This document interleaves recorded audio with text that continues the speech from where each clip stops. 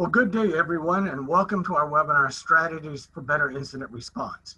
I am your host, Todd Stone. Today's presenter is Josh Drake. In just a moment, Josh will present his insights on incident response strategies. This webinar is presented by the Research SOC, the National Science Foundation Security Operations Center for Research. If you're not familiar with the Research SOC, it's an NSF-sponsored collaboration of multiple institutions that provides operational services and training to NSF research organizations, facilities, and projects. These services include a 24 by 7 by 365 SOC monitoring capability with the OmniSOC, vulnerability scanning, honeypots, decoy computers, threat intelligence, and training. And the Research SOC has recently begun offering virtual security teams. More information about these services and the Research SOC can be found at researchsoc.iu.edu. With that, let's bring on our presenter. Josh, please take it away. Hello, everyone, and uh, thanks, Todd. Um, so, my name is Josh Drake, and I'm a senior security analyst at the IU Center for Applied Cybersecurity Research. Uh, I have a 15 year uh, background working as a system administrator, network administrator, uh, and security analyst. Currently, I'm here uh, working for Research SOC, which is one of uh, the NSF funded grants that I, am a part of, where I am a security analyst and project liaison. Um, I also am part of the Open Science Grid uh, security team, where I handle incident response uh, training and security exercises. And I uh, co-run the IAM working group for the CI COE pilot and Trusted CI. Uh, today we're going to talk about some incident response strategies. And I have two goals for the talk. Um, the first one is that we're going to provide a framework so that you can start to develop uh, your own strategies uh, for incident response that are tailored to your organization. And the second is to go into depth on some uh, key actions you can take during particular stages of incident response uh, that will um, provide some strategies that will let you uh, customize those for your own organization.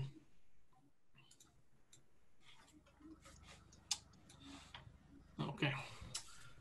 We're going to start off with talking about incidents. Um, an incident, in this case, a computer incident, is uh, described as a series of events that result in a compromise or the threat of compromise to your physical or digital assets. Incidents are not always malicious. Uh, they're oftentimes inadvertent or accidental. And most incidents that you deal with are not going to be catastrophic. Uh, the vast majority of incidents that we uh, declare and, and, catalog are low and moderate severity incidents um, that are relatively minor in scope. The uh, incident response is the function is the uh, series of tasks we undertake when dealing with an incident. Incident response should have uh, four main functions, and these are in no particular order um, because they will be different for each organization and their mission. But the four functions are we want to minimize the negative impact of the event that is happening. Um, we want to restrict whatever loss of confidentiality, integrity, or availability is going on. And we want to limit the damage to our reputation. Uh, we further want to use incident response to collect information about whatever event has happened. We want to be able to determine what has happened to which of our assets. When I was a, a kid, we would um, learn about essay writing, and one of the things that they would point out was you have to answer the questions who, what, when, where, why, and how, right? And so we want to be able to describe those same uh, answers in our incident response uh, information gathering. This helps us with a number of things. It helps us to understand the uh, extent of the incident. It also helps us to better understand our own systems for uh, future uh, future use in maturing our security program, and it uh, serves as a good starting point for gathering information if there is going to be uh, involvement of law enforcement or legal action after the fact. A third function of incident response is communication. We want to be able to effectively keep our personnel and our internal and external stakeholders informed uh, as well as any mandated reporting you may have to your governing body or compliance organizations. This can also help manage reputation loss uh, in high profile events, effective communication. And finally, uh, maintaining the operational availability of our systems and services uh, and infrastructure to our users and clients. Now, which of those uh, gets prioritized in your organization is going to depend largely on your own operational objectives. Um, and we're going to provide some strategies for prioritizing those later on.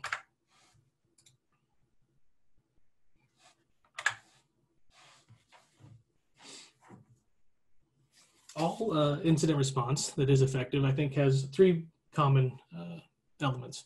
It should be prepared, should be systematic, and it should be iterative.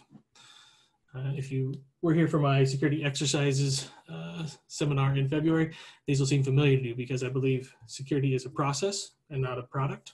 And so starting from a, foundation and building maturity on top of that is key to improving your inf information security platform. And these are the three steps I think people should take. Prepare, be systematic about it, and iterate constantly, continue to mature. When I say prepared, one thing I'm talking about is having uh, defined in advance methods for key tasks during incident response. Um, these include assigning roles and responsibilities to your staff, uh, documenting uh, the incident and having uh, channels for communicating and storing that documentation, and then having defined thresholds for validating and escalating an incident. We should also think about what strategies we're going to undertake to contain malicious behavior on our systems uh, before an incident occurs. And we want to also consider uh, our strategies for maintaining operational security during incident response.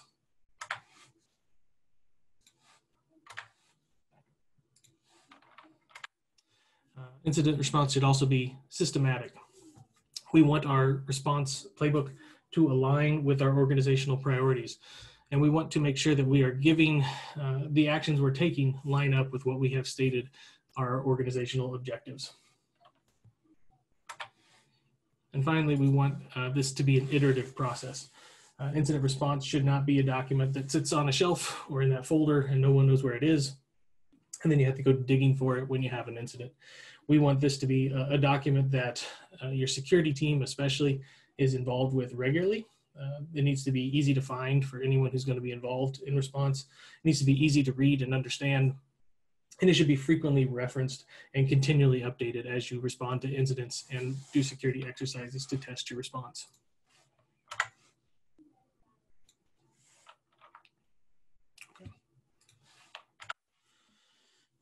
So let's say that uh, we're, we're coming to this fresh from uh, an organization that has just started to build a security uh, program. What are some things that you need to have in place before you can build an incident response playbook? Uh, here's a checklist we've put together. Um, I think you need to define your organizational objectives as they relate to your information security platform.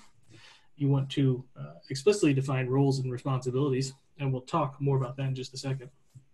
And then we want to gather and maintain a, somewhat accurate inventory of assets and risks. So we want to know what assets we have, both physical and digital, and we want to know what uh, the vulnerabilities that are inherent to our system are, uh, so that we can categorize those and start to remediate them over time. Once you have uh, those three uh, items, uh, you can start to put together what we call a master information security policies and procedures document. This is the core of your information security system or platform. And uh, if you need help doing this sort of thing, Trusted CI has created a, a very helpful guide. It's at trustedci.org slash guide. We'll have links to that later on. I, see, I saw someone ask about slides, and yes, we will have these available um, on our website later on, and there'll be a link to that website at the end of the presentation. And then once you have your uh, master information security policy written, you can start to use that to draft your incident response playbook and policy. I mentioned a moment ago uh, some key responsibilities uh, that we need to have um, documented before we start uh, our incident response procedures. And I think the most important ones of these to define are who is going to be responsible for declaring an incident, validating that something has happened, and announcing that it is going to be dealt with using the incident response playbook. Who is responsible for forming the team for incident response? Uh, let's see, Todd, I think we're on the wrong slide. Okay. There, there we go. go. and uh, who is going to be responsible for your communication strategy while you're responding to an incident. And these responsibilities should be defined uh, as belonging to key roles within your organization. We don't want them to be design, assigned to an individual person uh, so that you can have, um, you know, the hit by a bus scenario where someone was responsible for too many things and no one else uh, knows how to do those things. And so they get hit by a bus and, and you don't have anyone that can handle it. So make sure you're uh, assigning these to roles and having backups for each role. And when you test uh, these situations, you want to make sure that you're including the backups uh, and not just the key people in your security exercises. So with that, uh, we'll take a little break and do some polls um, before we dive into the second part.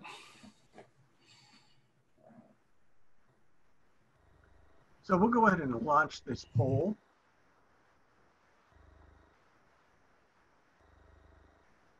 Thank you very much for your participation. We can see those results coming in. And we'll leave this poll open for just a few more for just a few more seconds.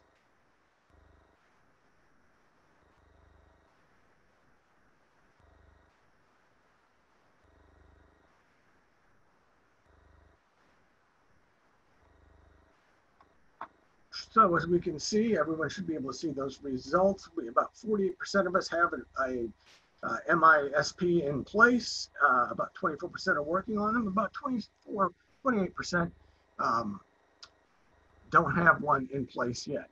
Let's go ahead and launch our second poll then.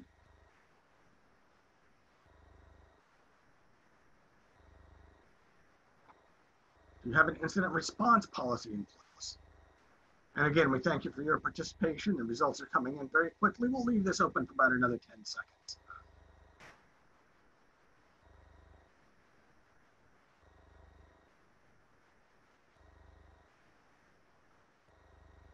I'll go ahead and close this poll and share the results. As you can see, Josh, about 62% have a policy in place, another 27% are working on one, and about 12% do not have one. I'll, I'll close this poll.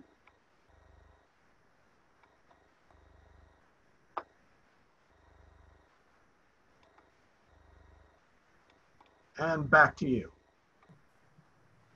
Thanks. Um, yeah, that's that's interesting. I think about half uh, uh, in both polls had uh, the policies in place, and about a quarter are working on those policies. So, for those of you who um, are working on one, or developing, or don't have one in place yet, the uh, the QR code here and this link will take you to the trustedci.org guide, which, um, in addition to to sort of providing a general set of guidelines for building an information security uh, program also has templates for uh, building a, a MISP and also uh, incident response playbook. A lot of uh, the incident response that uh, we use in the NSF organizations that uh, I work with uh, comes from the Trusted CI guidelines, and um, the content of this webinar also is, is pulled partially from those guidelines. So I would encourage you to take a look at those if you haven't, or if you're working on that process now. So uh, back into our incident response playbook. The second part here of the webinar, we're going to uh, take a look at sort of the more detail-oriented tasks involved in incident response.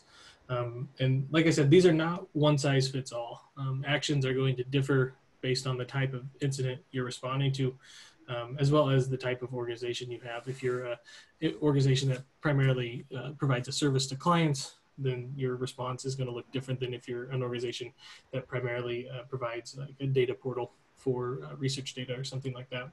Um, and for those who are not in the scientific community, um, this will look even even more different uh, than it does um, for those of us who work on uh, public uh, science programs. So the next set of slides is going to be different stages of the incident response workflow. Uh, they're roughly in a chronological order, but it's important to note that not all steps happen sequentially. Um, many of these steps happen concurrently with one another, uh, and some of them happen uh, as in the background of every single uh, other step in the in the workflow. So uh, just keep that in mind as we move forward. Okay. So the first step in any incident response is going to be uh, detecting and identifying that an incident is happening. Uh, you cannot practice incident response without being aware that an incident has occurred. Um, there's also a direct correlation between the time to detection of an incident and what the impact and costs of recovery and managing that incident, incident are going to be. Um, I'm not going to cover all the information that's on these slides. We're going to focus primarily on the actions and strategies section. But again, these slides will be available after the webinar for you to go back and look at. Uh, during the identification and detection phase, we want to focus on a few key actions. Um, we want to be reviewing logs, uh, beginning our documentation process, and capturing raw data. Uh, oftentimes, uh, your incident response, depending on the maturity of your organization, um, may come from automated sources. If you have an intrusion detection or intrusion prevention system, uh, it could come from syslog uh, data or uh, alerts that you have set up, but oftentimes it's going to come from user or client reports about uh, anomalous behavior with your systems.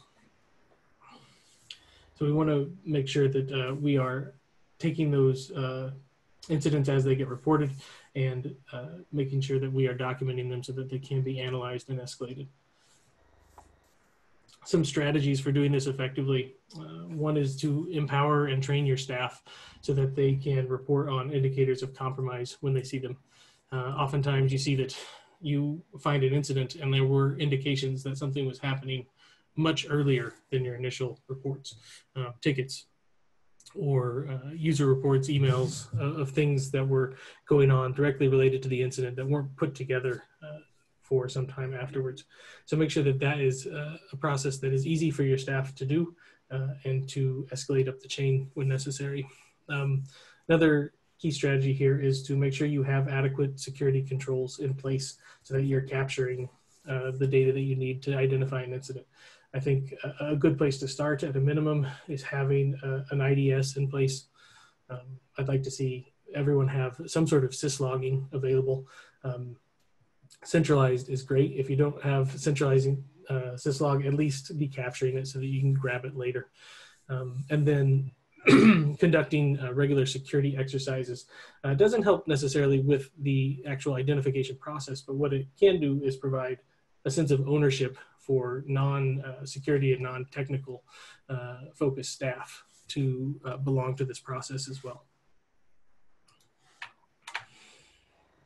The second uh, workflow uh, item here is documentation. And documentation happens um, at all stages during our response process. Um, having uh, good data gathering and a key and a timeline of what has happened is going to make it much easier when we get to um, the recovery and eradication stage.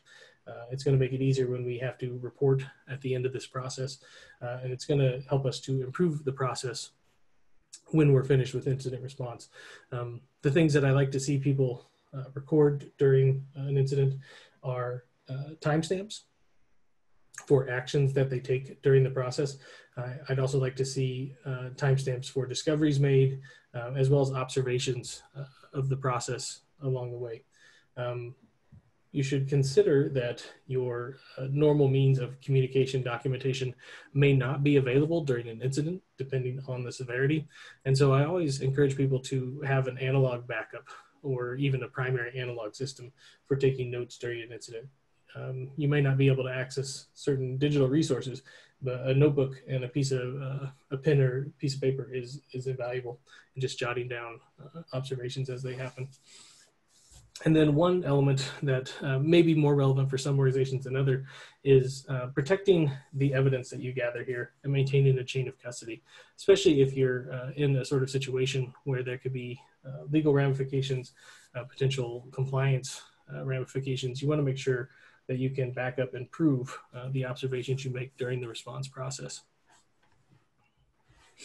Um, some other things to think about here are having offline storage available to store the observations that you're making so that if your um, your systems are compromised to the extent that uh, you can't verify the integrity of your data you're not storing uh, incident response documentation there and you're putting them on a separate device and uh, as well as um, having some sort of imaging software to capture uh, machine states during this process is very helpful as well. Now, uh, everyone's going to have different levels of resources available to them depending on the maturity of your program, but uh, a lot of these things, the pen and paper, thumb drives, etc., uh, can be done by just about anyone. Uh, the next step here that we're going to take a look at is to uh, look at the escalation steps. Escalation and identification often go hand in hand, um, but the key things, actions we want to see taken during escalation is that the uh, information gathered is being reported to the people who can make a decision about declaring an incident. So whoever those people are in your uh, incident response policy, we want to make sure that they are getting their hands or eyes on the information uh, to determine if an incident has occurred uh, and then to declare that an incident is happening and begin to form a response team. An incident response team doesn't necessarily have to be defined in your playbook. Um, it can be comprised of all different members of your organization, both inside and potentially uh, outside consultants or law enforcement. But um, you should have someone defined as the person who will form and coordinate that team once you are in the process of responding. Uh, some good strategies to consider here are to have clear escalation uh, paths in place in your policy, and then uh, to both define the role of, of defining uh, declaring an incident and make certain that the person who is responsible for doing that knows that that's their responsibility when i have done tabletop exercises for incident response trying to teach teams how to do this um, everyone just sort of takes for granted that uh, the incident response process is being invoked because we're at the tabletop exercise. Um, so make sure that you're you're taking the time to define what is an incident and what is not, and going through and categorizing the severity of that incident so you can know uh, what level of uh, resource needs to be devoted to the response process.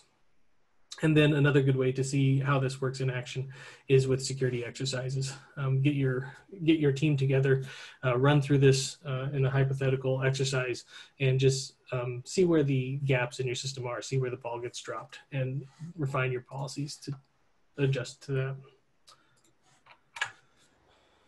So containment is the first, uh, I think, sort of urgent, time-sensitive thing that happens. Oftentimes, our um, identification is happening in the background. Uh, we might sometimes find an incident as it's occurring. More often, we're going to run into it after the fact. Um, our escalation process needs to be timely, but um, I doubt your CISO's uh, going to be looking at logs at two in the morning unless uh, something very bad is going on. So containment is is really the step here where you need to stop the bad stuff from happening. Um, the actions during the containment phase uh, are going to work to uh, isolate and disconnect compromised assets from the rest of your system so that you can prevent lateral movement.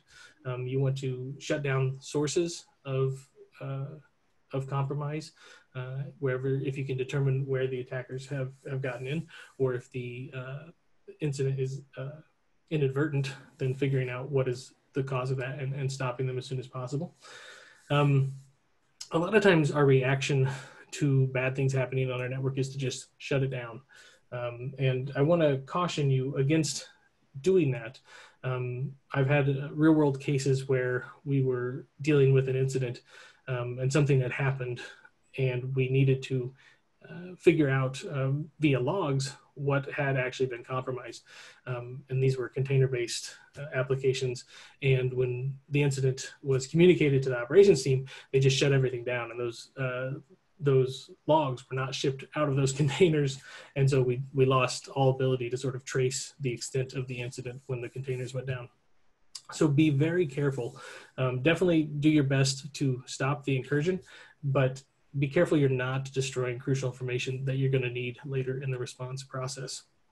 Um, that's why I always like to say, uh, in a reminder from the documentation screen, that you should be capturing uh, system state data from affected systems if at all possible, uh, because you never know what's going to be relevant as you get into the investigation of recovery process. Another step in the containment uh, workflow is not just physical segmentation or network segmentation, but also uh, looking at affected accounts and services and disabling those, um, and considering what your um, ultimate goal during the containment process is.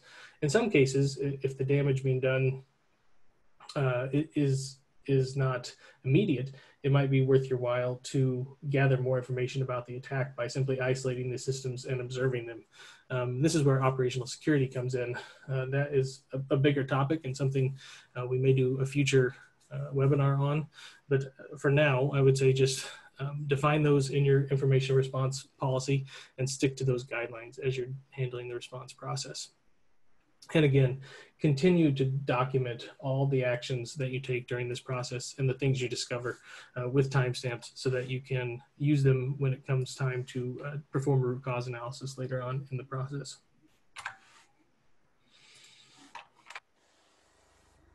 The next stage in response is recovery.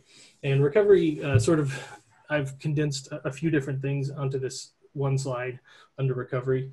Um, I'm also including in this one um, in the investigation process uh, to some extent, uh, communication strategies um, and validation, uh, but under the one headline of recovery for this uh, this webinar. Um, actually, actions that we want to undertake during the recovery process are to uh, revise our determination of the severity of the incident. We've probably given the incident uh, severity when we escalated it at the uh, initial phase, um, but we should have enough information when we're working on the recovery phase to uh, refine that and accurately categorize it. Once we've determined that severity and the extent of compromise that we have, uh, we can take a look at the long and uh, short-term impacts of the incident and start to build a uh, recovery strategy. Um, we want to determine uh, what systems are affected, uh, how long we can afford to have those down, uh, what our resources devoted to recovering from the incident are going to be, and what the timeline is going to look like. As part of that, we also want to make sure we have an effective communication strategy in place, that we are uh, communicating key information to the people that need to know it, uh, and that we are um, not contradicting ourselves or, or uh, increasing the damage to reputation uh, that can occur if we have uh, poorly coordinated communication. And then we want to make sure that the uh, resources that are identified are uh, assigned to the incident response team and we can execute that strategy effectively.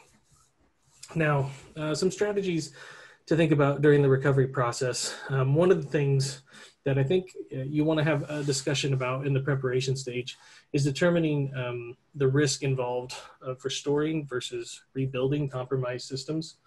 Um, restoring systems from backups is going to be faster, um, but rebuilding them from scratch and then um, reprocessing the data or restoring the data to a rebuilt hardened system is going to be more secure. And so there's a trade off to be made there. Um, we are not shooting for just returning to the state we were in before the incident when we're practicing recovery. What we want to be shooting for is a state of returning to uh, operational uh, status quo, but with an improved security posture uh, because we have more information. We know that there was a, an inadvertent uh, event or an attack that has compromised our systems. And so we should not just be content to revert to the state we were in before. We need to revert to that state and harden those systems so that we don't have the same incident happen again. Uh, during this phase, you also uh, want to carefully consider if you will involve outside resources.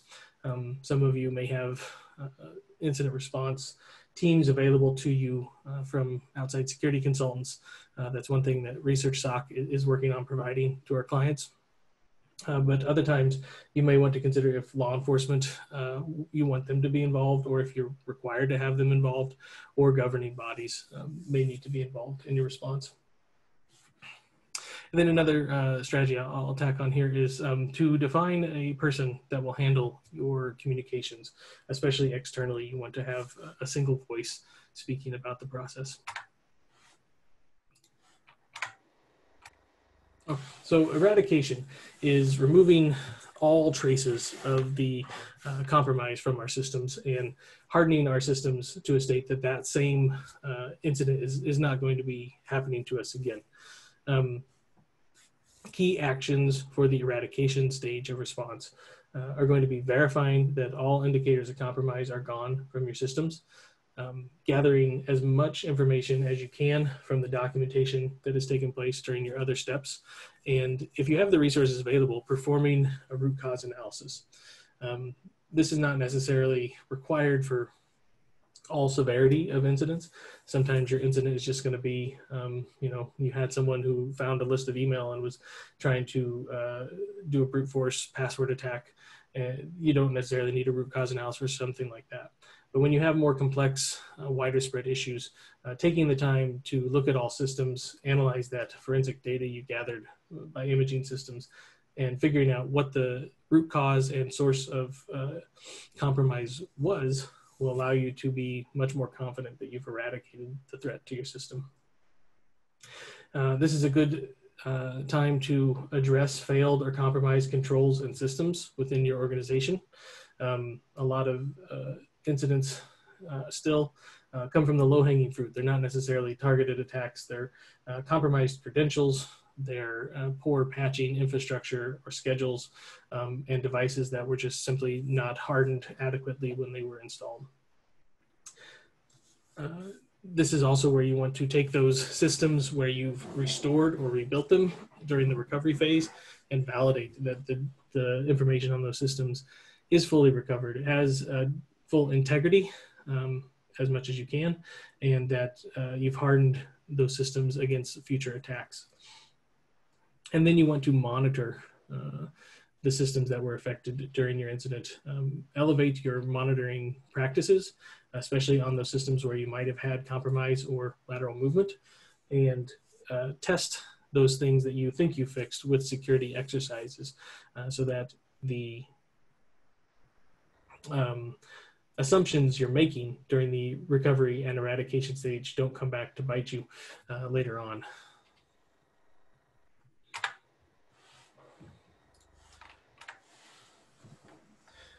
once you've gotten to the point of being fairly confident that you've eradicated all indicators of compromise uh, from your systems, you want to follow up with uh, some some final reporting steps and actions. Um, this is where you're going to perform your uh, postmortem. It's where you're going to uh, create reports for your internal and external stakeholders. Uh, it's where you're going to sit down and review your your processes uh, with the incident response team and look over your policies um, you want to take this uh, opportunity here to assess damages and costs uh, as much as you possibly can. Um, that's going to be much easier uh, in some industries than others. Um, right, banks can probably have a much easier time defining their losses in terms of, of financial value than we can in the science community, um, where an incident uh, might cost us. How do you define that for science? Um, some good indications uh, of uh, costs. Uh, we have another webinar that Susan Sons gave a couple months ago on effective security metrics. So that's one place you might start if you're in a non-commercial uh, field, especially uh, science-based organizations, uh, to determine what sort of measures you can use uh, to see what the impact of these sorts of incidents has been. Um, we want to make sure that we're creating a report that our stakeholders can read. Um, a lot of times incident response can read uh, quite uh, skewed heavily to the technical side. Um, and while that's helpful to have, especially for other technical people that may be reviewing it, um, I'd encourage you to put a lot of that information into an appendix. Um, your report that you are going to distribute to your non-technical uh, stakeholders should be narrative focused. It should be fairly easy to read, um, and it should shouldn't be terribly uh, any any longer than it needs to be because what you want to have is the full uh, understanding and vetting of your incident response process with people who are outside of that team. Um, this is also a time when you should uh, consider uh, if you haven't involved law enforcement um, doing so, if that's required. And it should also be a time when you review what your uh, legal or compliance mandated uh, reporting requirements are uh, so that you make sure you haven't overlooked those during the process. And if you find ones that you have overlooked I would encourage you to add those to your IR playbook. Um, one thing that uh, I think is, is key once you get to this final stage of the response process and closing an incident is to uh, take note of the things that worked and the things that didn't uh, and track those for future security exercises as well as the changes we've made to our controls and policies. Make sure you're testing those in between incidents. Um, don't wait for a big incident to test your incident response. Make sure you're practicing this uh, in full on even small incidents that don't necessarily warrant it so that you can have the experience of using the document and maturing it uh, so that it's ready when you do need it.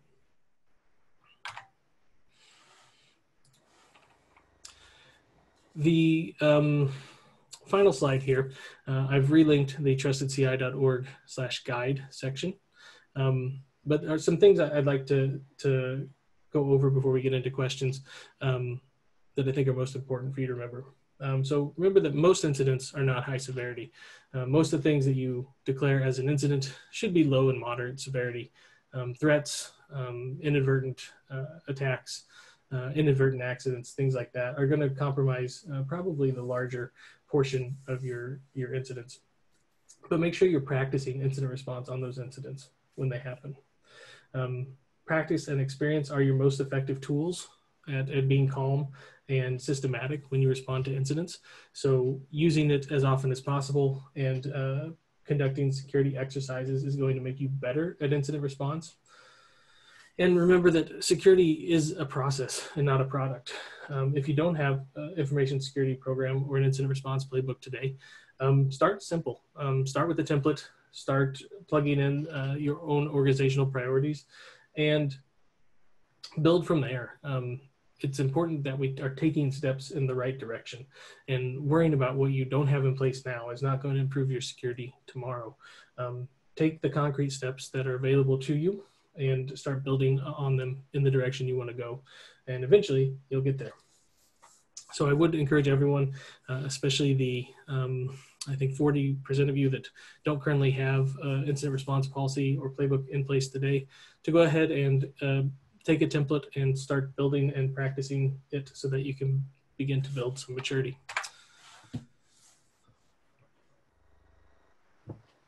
So thanks, Josh. Well, that's a great presentation. I'm going to go ahead and launch our final poll.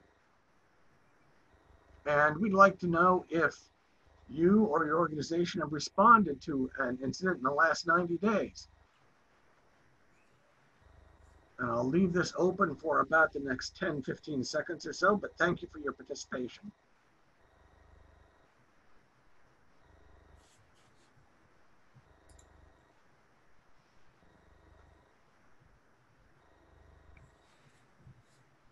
I think that's all our answers. Let's go ahead and I'll share the results of that.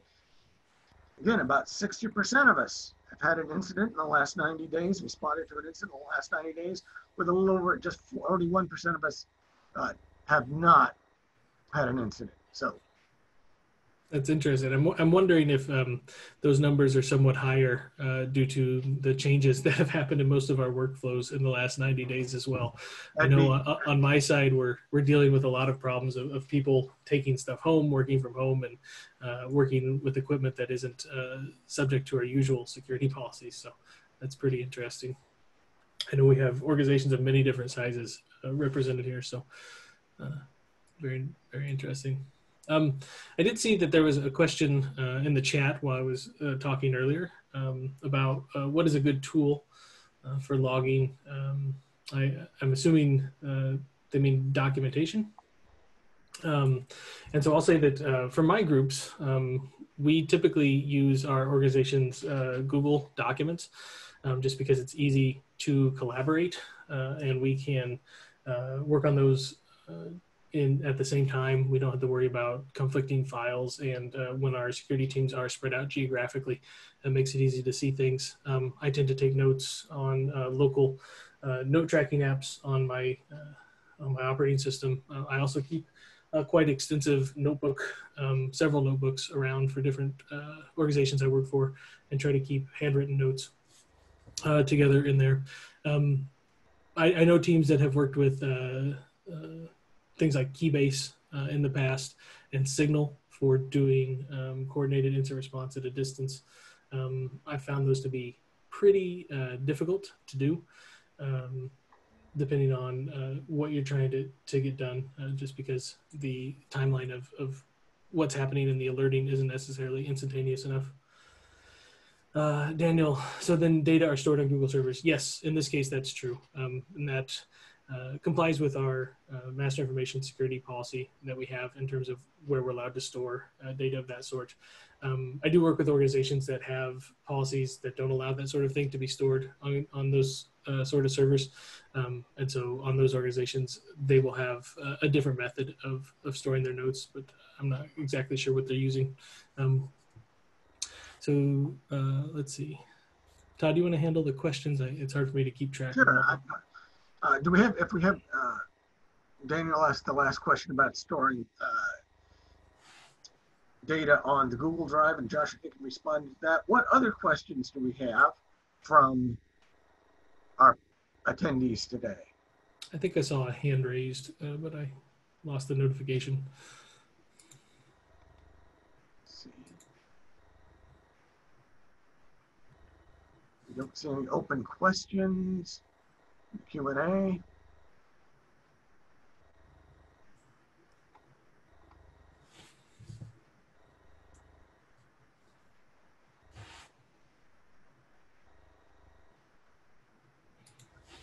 So, well, thank you, Josh, and uh, for that great presentation. Uh, that was very informative. We appreciate the information. And thank you, ladies and gentlemen. There are no other questions. Uh, you can find more information um, on the Research SOC on the Research SOC website. And here's Josh's contact information as well as the contact information for um, the Research SOC website. Again, we thank you for your time. Uh, we encourage you to reach out and contact us. And this concludes our webinar for today. For those who are looking for the slides and the recording, it normally takes between uh, 24 and uh, 48 hours for our recordings to process. I would look for those Monday or Tuesday, for both of those Monday or Tuesday on the Research SOC website on our webinars page. Again, thank you so much for attending. This concludes our webinar.